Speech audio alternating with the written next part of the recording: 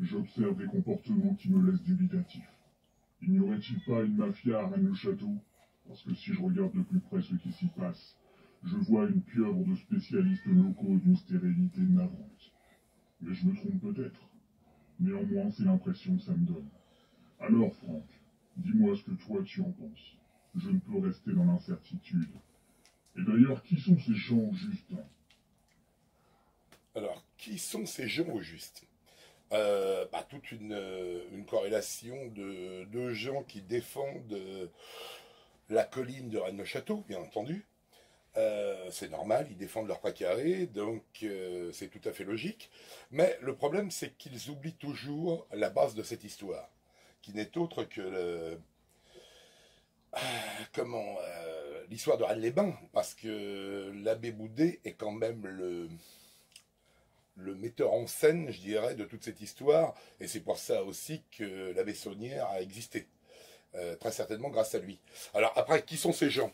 Euh, bah, J'en ai toute une liste qui n'est pas exhaustive, euh, parce que bon, il y en a pas mal, euh, avec qui j'ai eu des contacts d'ailleurs assez ou, sympathiques ou moyens. par exemple, Monsieur Arcana, bon là, ça a été, je lui ai envoyé mon bouquin. Moi, il a été très, enfin ça se comprend. Il, est dans une équipe qui ne considère pas ce que je dis. Bon, après il y a des, bon, il y a Christian Doumergue qui fait des très très bonnes vidéos. J'aime beaucoup, donc voilà.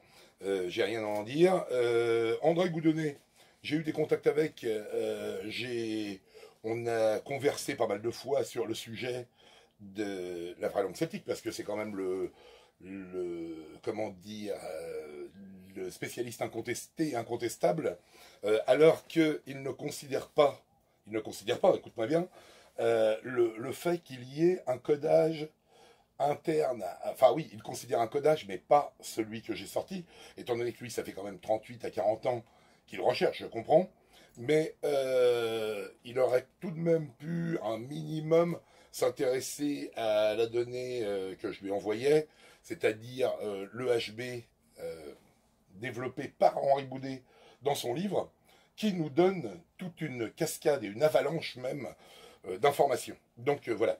Alors après il y a Monsieur Vallée. Alors lui très sympa. Il m'a il m'a acheté le bouquin. Euh, il a rien dit. On n'a pas eu de, contact plus. Excusez-moi, hein, j'ai une liste, mais là c'est un peu le bordel sinon, parce que je me souviens pas tous les noms. Monsieur Chaumeil, bon, j'aime beaucoup lui son bouquin. alors, ses interventions m'emmerdent un peu, je vous dirais franchement.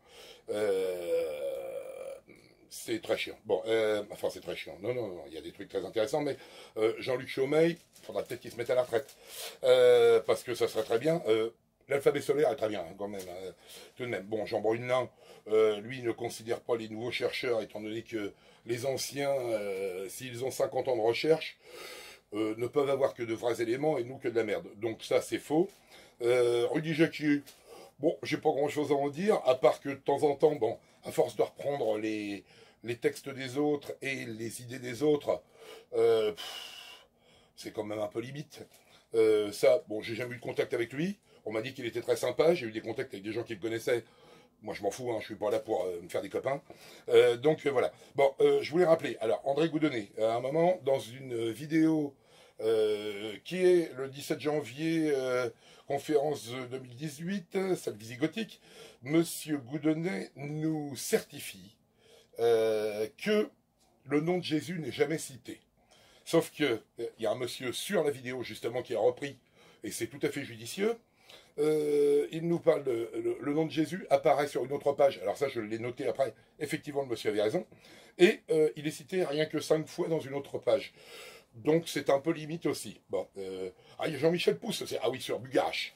Alors Jean-Michel Pousse, quand il vient aux interventions, souvent qui, où il fout le bordel, c'est très marrant d'ailleurs.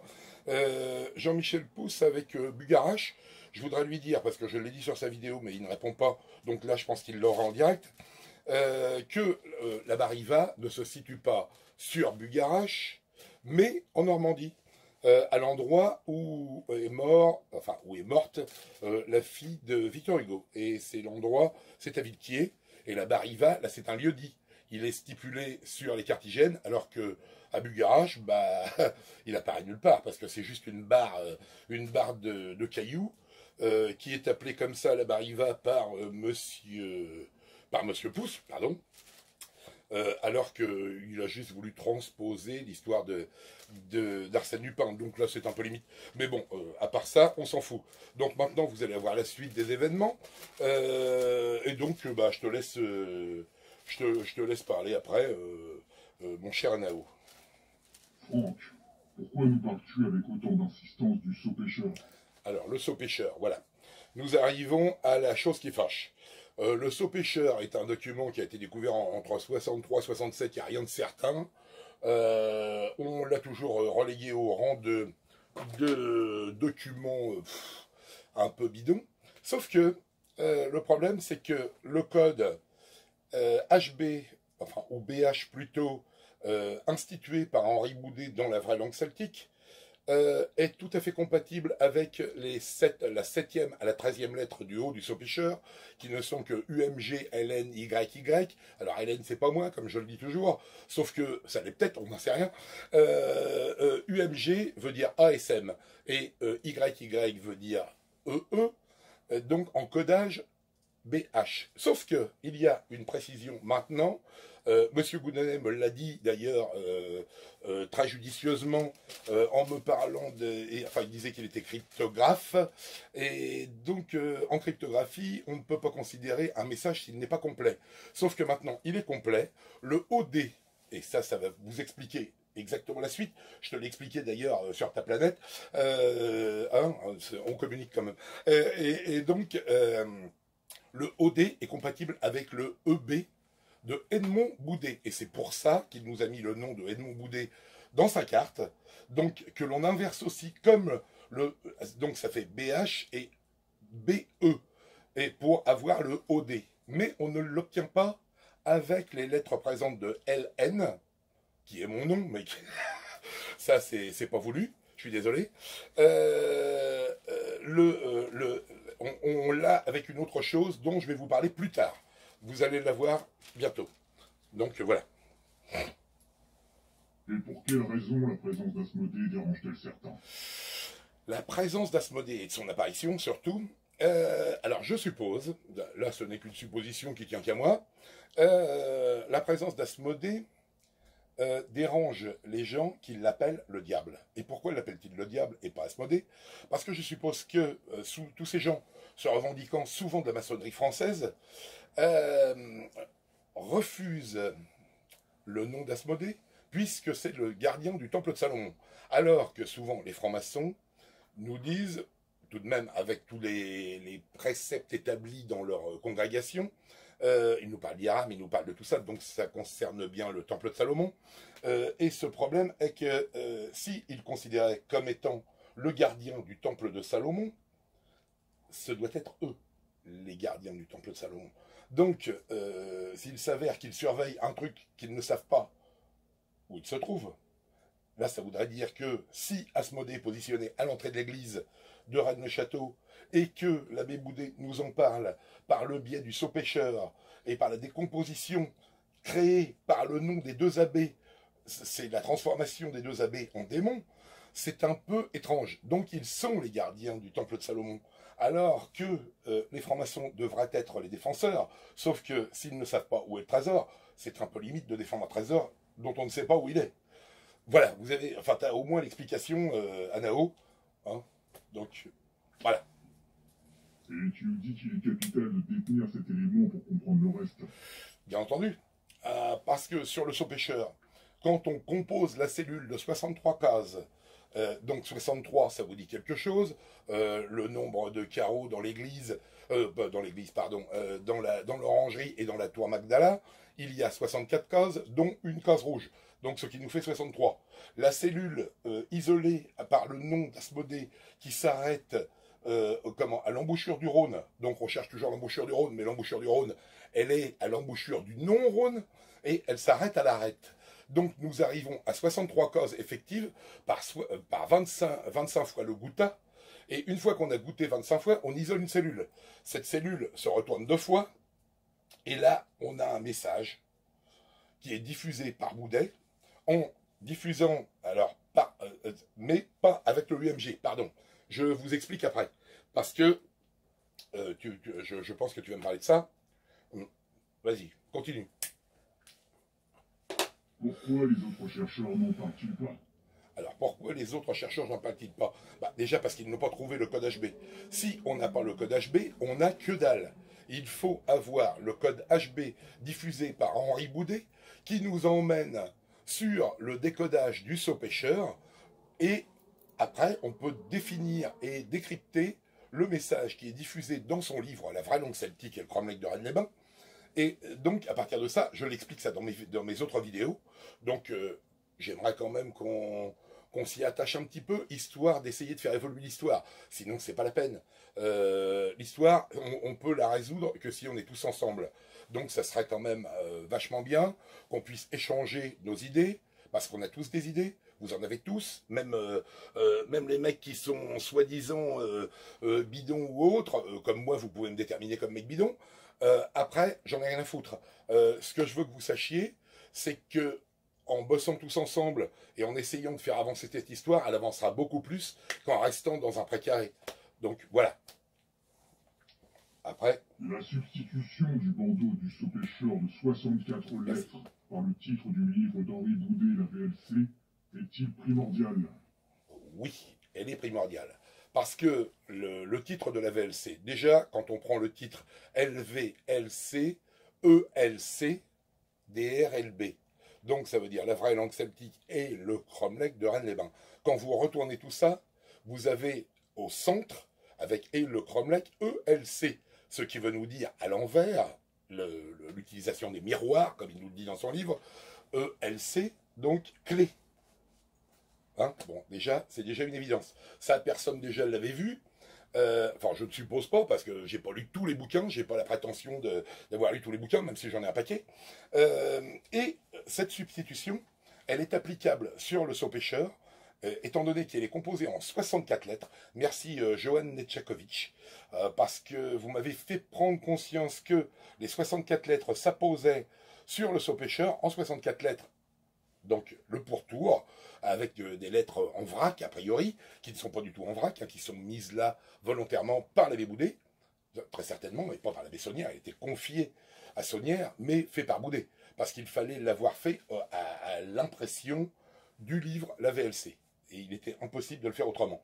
Donc, euh, et c'est pas Plantard qui a pu le créer euh, par la suite, parce que euh, tout ce livre a été codé depuis le début. Donc tous ceux qui mettent en doute, par exemple M. Chaumeil, qui met en doute euh, le véritable codage euh, dans l'alphabet solaire, et dans l'alphabet solaire je suis pas sûr, il suppose qu'il y a un codage, mais un autre codage, peut-être c'est le sien, moi j'en sais rien, j'y ai pas compris grand chose, c'est je suis un peu con. Donc et donc j'ai pas compris son truc. Mais à côté de ça intéressez-vous à ce codage HB qui vous donnera certainement un autre sens euh, à l'histoire, avec le druide druide, euh, je l'explique en page 170, qui nous donne euh, une clé de l'énigme, enfin une clé, hein, parce que c'est pas toute la clé.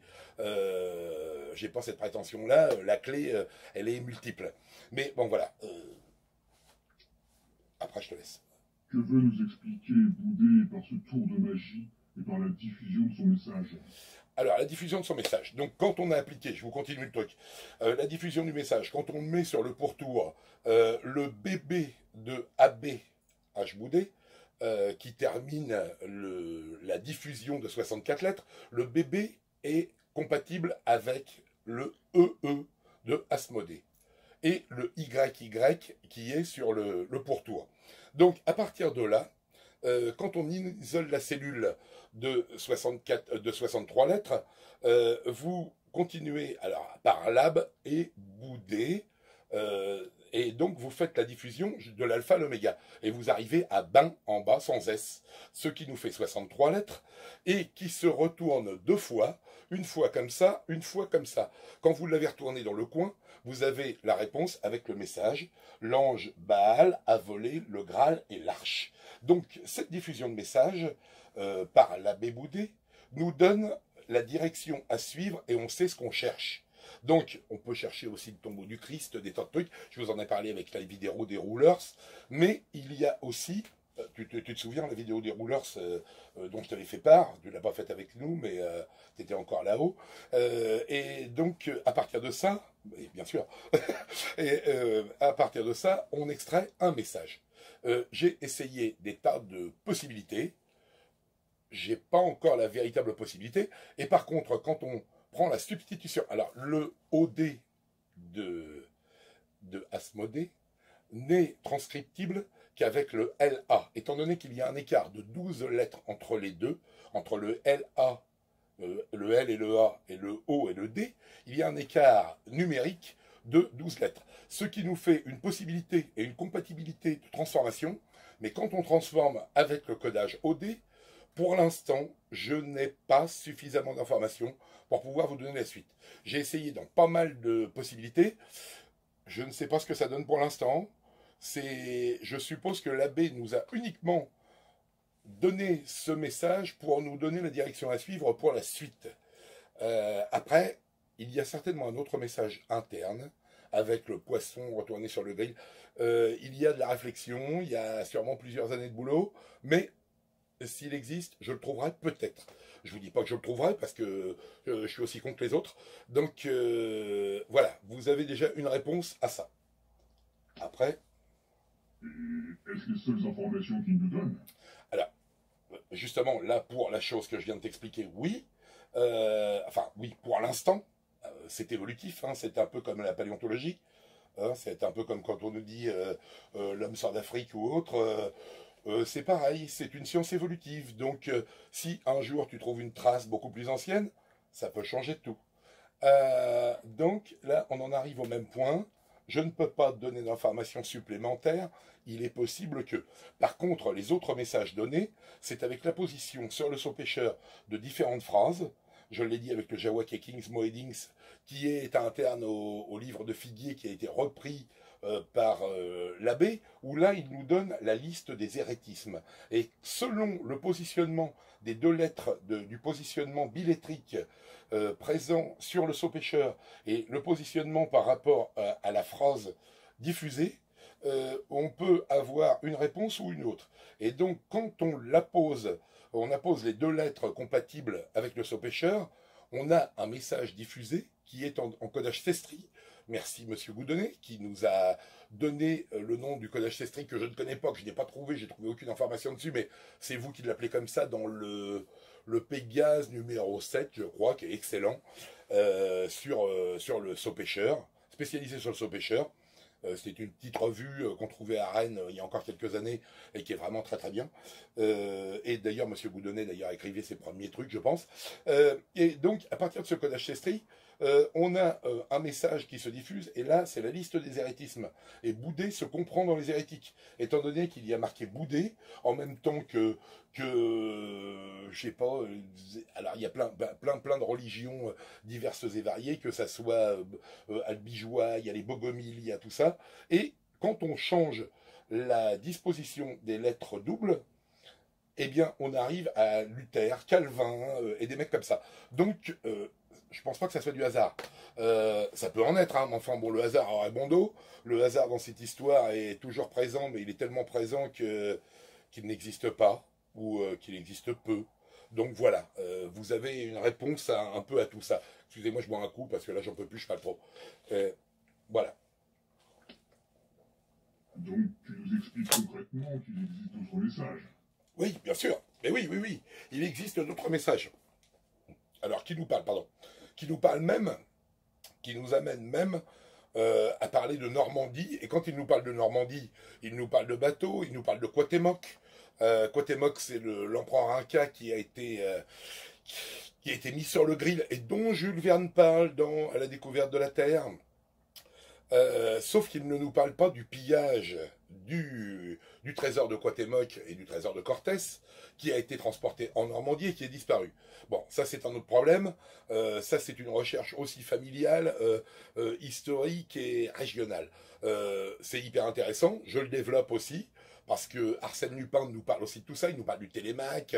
alors le Télémac, c'est le bateau qui a coulé avec le, trésor des, des émigrés qui partaient en Angleterre et le trésor royal et le trésor ecclésiastique, qui a coulé juste à côté de la Bariva euh, à Radicatel, donc qui est à quelques kilomètres, deux coups d'accélérateur, vous y êtes, et vous arrivez à, à, euh, Et parce qu'il y a Creekbuff, Keybuff et autres, et là c'est Keybuff, et Keybuff est l'endroit où justement a coulé ce bateau.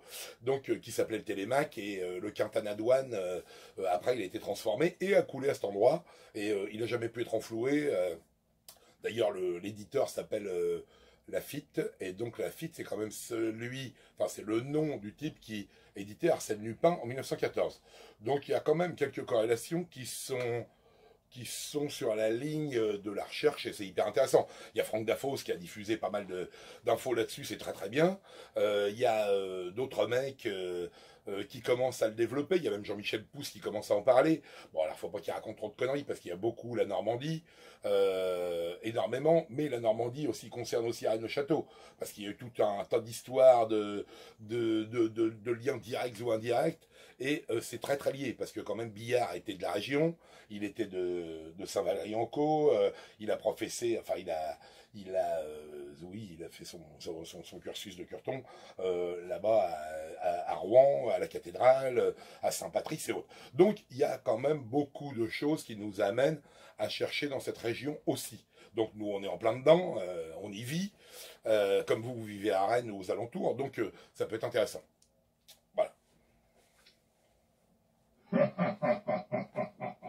Après cette somme d'informations, la discussion est ouverte. Voilà. Merci et à très bientôt. Merci à tous.